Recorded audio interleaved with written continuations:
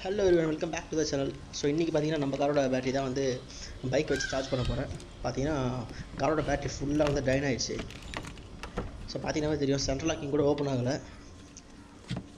So உள்ளே போய் ignition on பண்ணி பார்ப்போம்.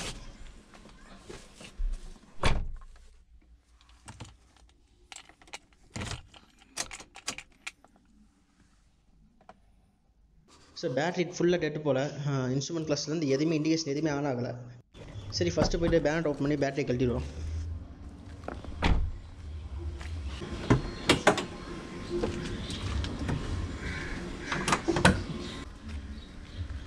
ஸோ இதான் பார்த்தீங்கன்னா இது வந்து நெகட்டிவ் டெர்மினல் அது வந்து பாசிட்டிவ் டெர்மினல் ஸோ பேட்டரி மேலே கொடுத்துருக்க ஆங்கிள் ஃபுல்லாத்தையும் வந்து ரிமூவ் பண்ணிடலாம்.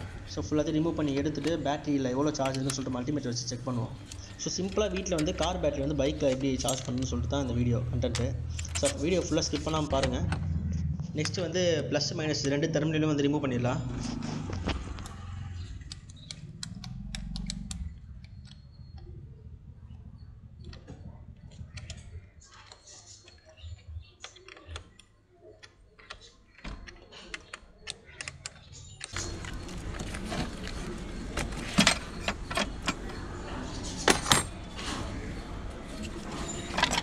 ஸோ பேட்டரி செக் பண்ணுறதுக்கு பார்த்தீங்கன்னா மல்டிமீட்டரில் டிசி டுவெண்ட்டியில் வச்சிடணும். சரி டிசி டுவெண்ட்டியில் வச்சுட்டு பாசிட்டிவ் வந்து பாசிட்டிவ் வச்சுருங்க. நெகட்டிவ் நெகட்டிவ் வச்சு பார்த்தீங்கன்னா எவ்வளோ பவர் பார்ப்போம் ஸோ இதில் பார்த்தீங்கன்னா ஃபைவ் பாயிண்ட் சிக்ஸ்டி சிக்ஸ் வருது power so five point sixty சிக்ஸில் ஆன் ஆகுது காரு மினிமம் பார்த்தீங்கன்னா ஒரு eleven point thirty eleven point fif fifty இருந்தால் தான் வந்து பேட் கார் ஆன் ஆகும். ஸோ இப்போ நம்ம எப்படி இதை சார்ஜ் பண்ண போகிறோம் அப்படின்னு பார்த்தீங்கன்னா நான் டூ வீலர் யூஸ் பண்ணி தான் சார்ஜ் பண்ண போகிறேன் அது எப்படின்னு சொல்லி சொல்கிறேன்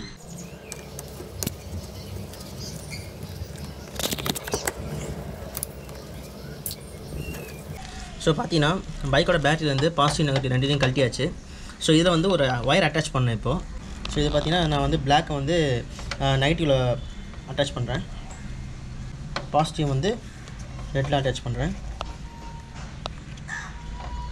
ஸோ இது வந்து கொஞ்சம் ஸ்லோ ப்ராசஸ் தான். சப்போஸ் உங்களுக்கு எமர்ஜென்சி ஏதோ கடை இல்லை பேட்டரி வந்து சார்ஜ் பண்ணணும் அப்படின்னா நீங்கள் இந்த ப்ராசஸ் வந்து ஃபாலோ பண்ணலாம்.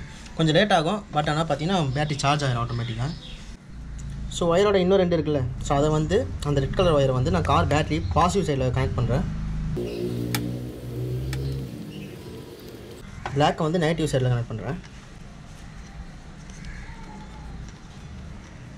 ஸோ ஒயர் வந்து எங்கேயோ பாடி டச் ஆகாமல் பார்த்துங்க. இல்லை ஸ்பார்க் வரும். ஸோ பார்த்தீங்கன்னா இப்போ ரெண்டுத்தையும் வந்து கனெக்ட் பண்ணியாச்சு. இப்போ கனெக்ட் பண்ணிவிட்டு பைக்கை ஸ்டார்ட் பண்ணிடலாம். ஸோ முன்னாடி பார்த்தீங்கன்னா காரோட பேட்டரி பவர் வந்து ஃபைவ் பாயிண்ட் ஃபார்ட்டி சம்திங் இருந்துச்சு.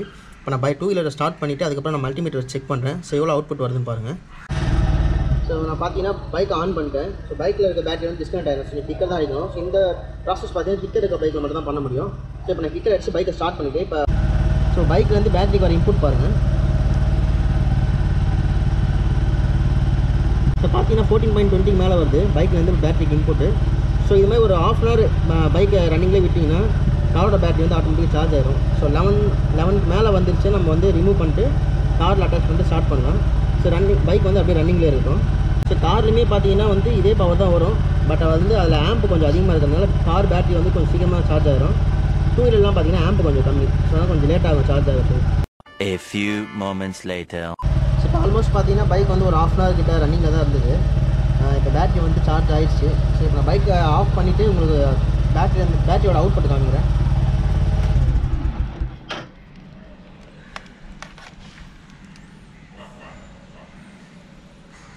ஸோ பேட்டரி அவுட்புட் பார்த்தீங்கன்னா டுவெல் கிட்ட வந்துருச்சு. ஸோ இந்த பவர் போதும் கார் ஆன் ஆகிறதுக்கு. ஸோ மீதி பவர் வந்து நம்ம காரில் சார்ஜ் பண்ணிக்கலாம். ஸோ நம்மளுக்கு இப்போ தேவையான பவர் பார்த்தீங்கன்னா கார் ஸ்டார்ட் பண்ணுறதுக்கு தான். சப்போஸ் ஒன்ஸ் கார் ஸ்டார்ட் ஆகிடுச்சுன்னா அந்த பேட்டரி வந்து ஆட்டோமேட்டிக்காக சார்ஜ் ஆயிரும். ஸோ இப்போ இந்த பேட்டரி எடுத்து போய் காரில் போட்டு சார்ஜ் பண்ணுறேன்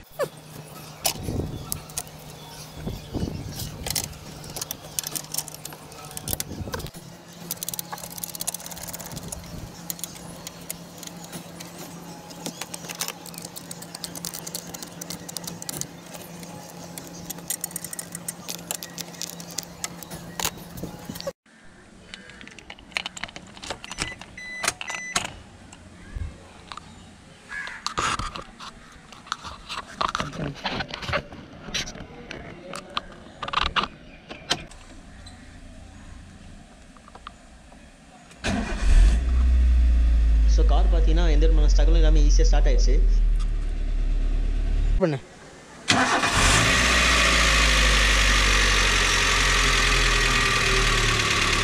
இப்போ வந்து பேட்டரியோட பவர் உங்களுக்கு காமிக்கிறேன்.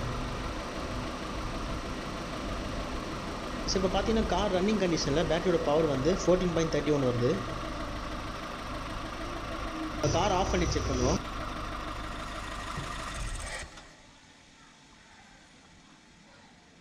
கார் ஆஃப் பண்ணிட்ட அப்புறம் பேட்டரியோட அவுட்புட் பார்த்தீங்கன்னா டுவெல் பாயிண்ட் எயிட் வருது. ஸோ வந்து பேட்டரி வந்து சார்ஜ் ஆகுது.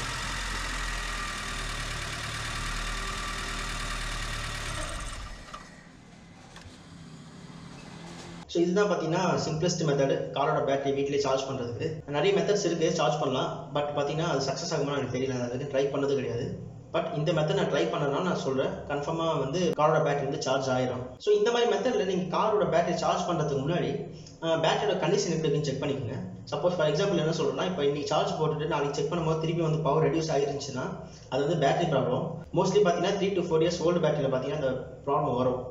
ஸோ அந்த மாதிரி இருக்கும்போது நீங்கள் வந்து பேட்டரி ரீப்ளேஸ் பண்ணி தான் ஆகணும். ஸோ ஒரு பேட்டரி வந்து நல்ல கண்டிஷன் இருக்குது அது சடனாக வந்து சார்ஜ் இறங்கிடுச்சுன்னா இந்த மெத்தட் யூஸ் பண்ணுங்க. கம்பல்சரி சார்ஜ் ஆகும்.